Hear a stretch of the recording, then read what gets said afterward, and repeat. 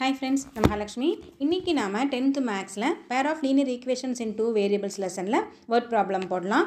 இது வந்து speed time distance அதை பேஸ் பண்ண வேர்ட் ப்ராப்ளம் ஓகேவா சம் பாருங்கள் Ved travels six hundred kilometre to his home partly by train and partly by car வேதுங்கிறவர் வந்து six hundred kilometre travel பண்ணி போகிறார் அவர் வீட்டுக்கு. ஓகேவா அதில் கொஞ்சம் தூரத்துக்கு ட்ரெயினில் போயிட்டு மிச்ச தூரத்துக்கு காரில் போகிறாரு he takes eight hours if he travels one twenty kilometre by train and rest by car அதாவது எட்டு மணி நேரம் ஆகுது. எப்போன்னா ட்ரெயினில் வந்து ஒன் டுவெண்ட்டி கிலோமீட்டர் போயிட்டு மிச்சம் இருக்கக்கூடிய தூரத்தை காரில் போகும்போது. அதுவே he takes twenty minutes longer if he travels two hundred kilometre by train and rest by the car இன்னும் ஒரு டுவெண்ட்டி மினிட்ஸ் அதிகமாகுது.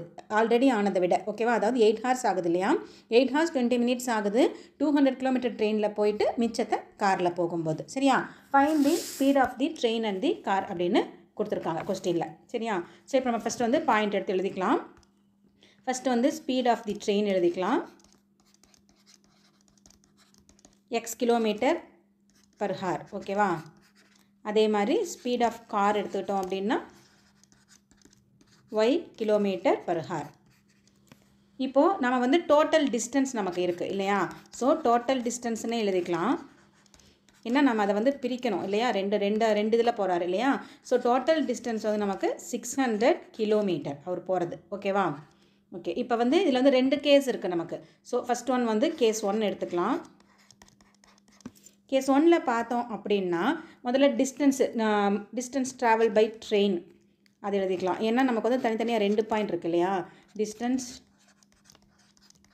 ட்ராவல்ஸ் பை ட்ரெயின் எவ்வளோ கொடுத்துருக்காங்க? ஃபஸ்ட் ஒனில் ஒன் டுவெண்ட்டி கிலோமீட்டர் சொல்லியிருக்காங்க. ஓகேவா அதே வந்து டிஸ்டன்ஸ் ட்ராவல்ஸ் பை கார் எடுத்தோம் அப்படின்னா டோட்டல் டிஸ்டன்ஸ் சிக்ஸ் ஹண்ட்ரடு அதில் ஒன் டுவெண்ட்டி வந்து அவர் ட்ரெயினில் போனார் போனார் அப்படின்னா மிச்சம் இருக்கக்கூடியது காரில் போயிருப்பார் இல்லையா?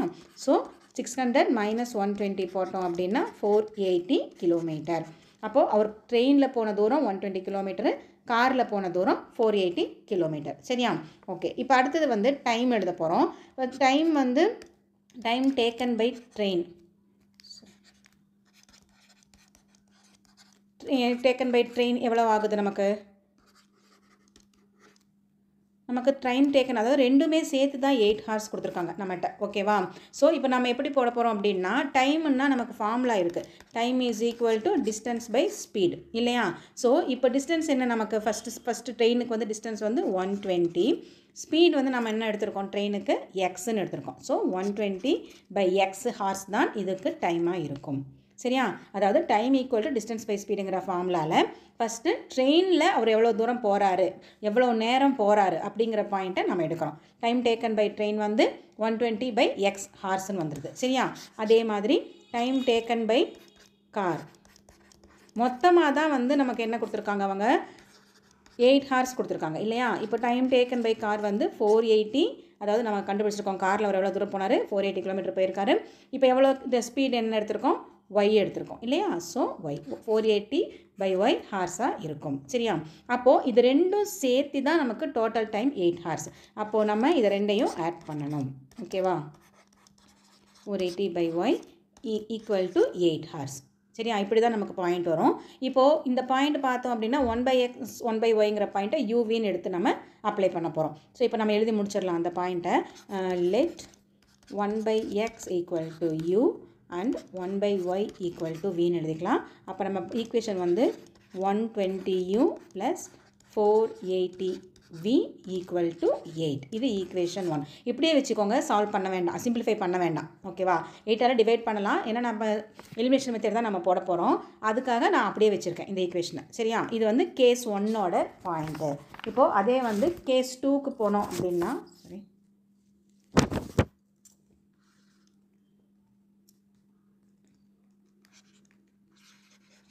கேஸ் டூ போகணும் இல்லையா நம்ம? கேஸ் டூவில் பார்த்தோம் அப்படின்னா டிஸ்டன்ஸ் பை ட்ரெயின் வந்து எவ்வளோ கொடுத்துருக்காங்க நமக்கு அவங்க? டூ ஹண்ட்ரட் கிலோமீட்டர் கொடுத்துருக்காங்க இல்லையா? ஸோ டூ ஹண்ட்ரட் கிலோமீட்டர் அப்போது டிஸ்டன்ஸ் பை கார் வந்து டோட்டல் டிஸ்டன்ஸில் இருந்து இந்த டூ ஹண்ட்ரடை மைனஸ் பண்ணோம்னா ஃபோர் ஹண்ட்ரட் கிலோமீட்டர் ஓகேவா மொத்தம். அப்போது டைம் டேக்கன் பை ட்ரெயின் இப்போ இந்த முறை என்ன ஆகுதுன்னு பாருங்கள் எயிட் ஹார்ஸ் கூட ஒரு டுவெண்ட்டி மினிட்ஸ் ஆட் ஆகுது நமக்கு சரியா? ஸோ அதை பார்த்து போடணும்.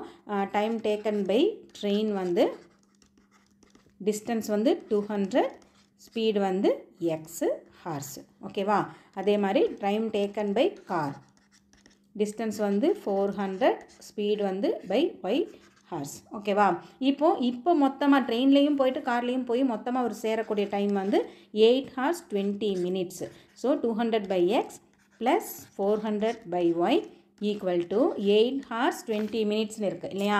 இப்போது இந்த டுவெண்ட்டி மினிட்ஸ் இருக்குது பார்த்தீங்களா இதை நாம் ஹாருக்கு கன்வெர்ட் பண்ணணும். ஓகேவா ஹார் கன்வெர்ட் பண்ணும்போது என்ன ஆகும் நமக்கு? ஒன் பை சிக்ஸ்டி இல்லையா? ஸோ கிராஸ் பண்ணோம்னா த்ரீ அப்போது எயிட் ஒன் பை த்ரீ இந்த இடத்துல வந்துடணும் ஓகேவா?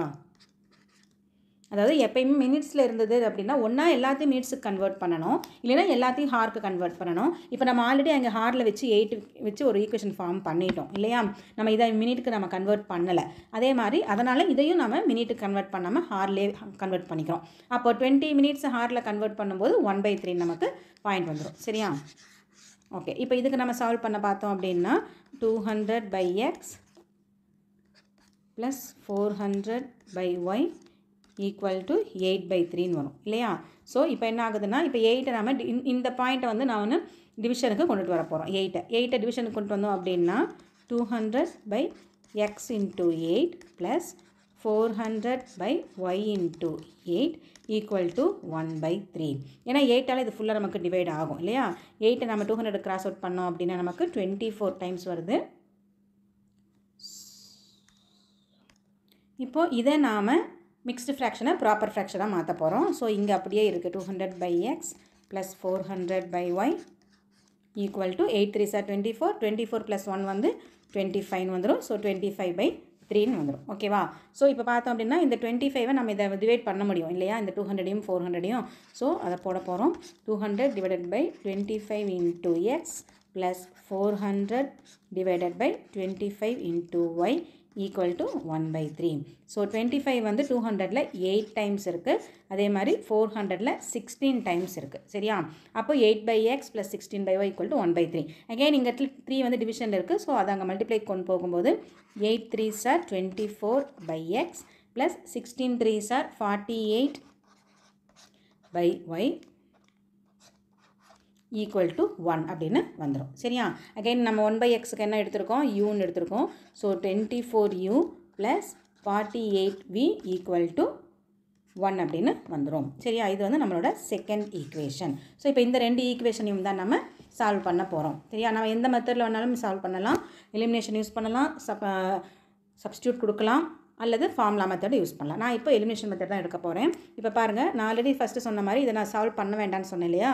ஒன் டுவெண்ட்டி யூன்னு இருக்குது இப்போது நமக்கு இதில் டுவெண்ட்டி ஃபோர் இருக்கு இல்லையா? இந்த டுவெண்ட்டி ஃபோர் இன்ட்டு எயிட் போட்டோம் அப்படின்னா நமக்கு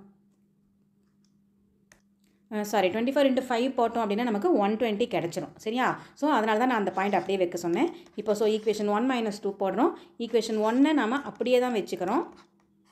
அப்போது one twenty u plus four eighty v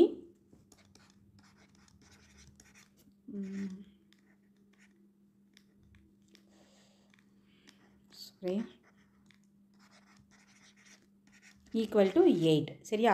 அதே மாதிரி இப்போது செகண்ட் ஈக்குவேஷனை எதால் மல்டிப்ளை பண்ண போகிறோம்னா ஃபைவால் மல்டிப்ளை பண்ண போகிறோம் பண்ணும்போது தான் டுவெண்ட்டி ஃபோர் இன்ட்டு ஃபைவ் போட்டோம்னா நமக்கு ஒன் டுவெண்ட்டி வந்துடும் one twenty u plus forty eight into five போட்டோம்னா நமக்கு டூ ஃபார்ட்டி கிடைக்கும். V equal to one five sir five சரியா? ஸோ இப்போ நம்ம சைன் சேஞ்ச் பண்ணிக்கிறோம். First one twenty u minus one twenty u நமக்கு கிராஸ் அவுட் ஆகிடும் அடுத்தது வந்து four eighty v minus two forty v போட்டோம் அப்படின்னா டூ ஃபார்ட்டி வி கிடைக்கும். எயிட் மைனஸ் ஃபைவ் போட்டோம்னா நமக்கு த்ரீன்னு வந்துடும் ஓகேவா அப்போது வியோட value three divided by two forty that means cross out பண்ணோம்னா ஒன் பை எயிட்டி அப்படின்னு கிடைக்கும். வியோட வேல்யூ வந்து ஒன் பை எயிட்டி இதை வந்து நம்ம ஈக்குவேஷனில் சப்ஸ்டியூட் கொடுக்க போகிறோம் செகண்ட் ஈக்குவேஷனில் சப்ஸ்டியூட் கொடுத்துக்கலாம். V equal to one by eighty in equation two அப்போது ஈக்குவேஷன் டூ என்ன நமக்கு? டுவெண்ட்டி ஃபோர் யூ எதில் வேணாலும் கொடுக்கலாம். அது நம்மளோட சாய்ஸ் தான்.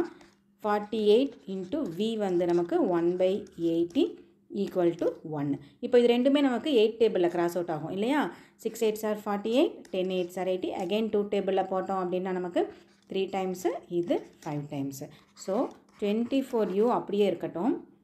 இல்லை இது எழுதி முடிச்சிடலாம். Three by five equal to one எப்படி எல்சிஎம் எடுத்தாலும் ஓகே சரியா? நான் இப்போ வந்து டுவெண்ட்டி ஃபோர் யூ அப்படியே வச்சுக்கிட்டு one minus three by five போடுறேன். எல்சிஎம் வந்து நமக்கு five one five sir five minus three அப்போது டூ பை ஃபைவ்னு வரும். ஓகேவா டுவெண்ட்டி ஃபோர் யூவோட வேல்யூ அப்போ யூ வேணும்னா two by five into twenty four இந்த டுவெண்ட்டி ஃபோர் டிவிஷன் மல்டிப்ளைல் இருக்குது இந்த வரும்போது டிவிஷனுக்கு வந்துடும் டூவையும் டுவெண்ட்டி ஃபோரையும் கிராஸ் அவுட் பண்ணால் டுவெல் ஸோ ஒன் பை சிக்ஸ்டின்னு கிடைக்கும். யூவோட ஆன்சர் வந்து ஒன் பை சிக்ஸ்டின்னு கிடைக்கும். சரியா? இப்போ யூங்கிறது நம்ம என்னென்னு எடுத்திருக்கோம்? ஒன் பை எக்ஸை தான் நம்ம யூன்னு எடுத்திருக்கோம். ஸோ ஒன் பை யூக்கு வந்து நமக்கு கிடைச்ச பாயிண்ட் அது ஒன் பை சிக்ஸ்டி அப்போது எக்ஸோட வேல்யூ சிக்ஸ்டியாக இருக்கும். சரியா? அதே மாதிரி ஒன் பை ஒய்யை தான் நம்ம வின்னு எடுத்திருக்கோம். விக்கு நமக்கு கிடைச்சது எயிட்டி ஸோ நமக்கு வந்து ஒய் ஈக்குவல் டு எயிட்டி அப்போது ஸ்பீட் ஆஃப் தி ட்ரெயின் நம்ம ஃபஸ்ட்டு எடுத்தது வந்து ஸ்பீட் ஆஃப் தி ட்ரெயின் தானே எக்ஸ் எடுத்திருக்கோம். So speed of the train வந்து நமக்கு சிக்ஸ்டி கிலோமீட்டர் பர் ஹார் அதே மாதிரி ஸ்பீட் ஆஃப் தி கார் வந்து எயிட்டி கிலோமீட்டர் பர் ஹார். ஓகேவா அவ்வளோதான் ஆன்சர் முடிஞ்சு போச்சு.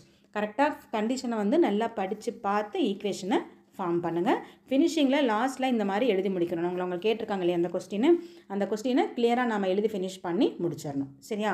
பாயிண்ட் உங்களுக்கு புரிஞ்சுதா? ரெண்டு ஒரு ட்ரெயினோடது ஒரு காரோடது. ரெண்டோட ஸ்பீடையும் நம்ம இப்போது ஃபைன் பண்ணியாச்சு. ஓகேவா ஓகே உங்களுக்கு இந்த சம்மு புரிஞ்சிருக்கும்னு நினைக்கிறேன்.